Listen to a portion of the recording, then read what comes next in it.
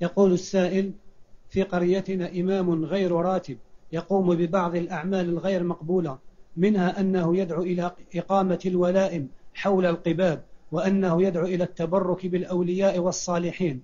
السؤال هل تجوز الصلاة وراءه أم لا؟ وإذا مات هل نصلي عليه أم لا؟ وما حكمه مع هذه الحالة؟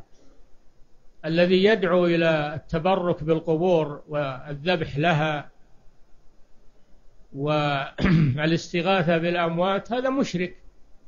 هذا مشرك خارج من الإسلام.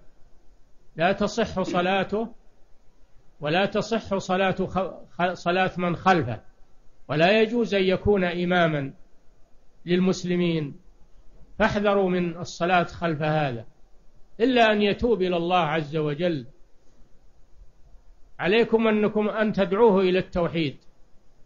وإلى إخلاص العبادة لله عز وجل وإلى التوبة من هذه الأعمال الشركية. فإن لم يتب فلا تصلوا خلفه لأن صلاة لأن الصلاة خلفه غير صحيحة. نعم.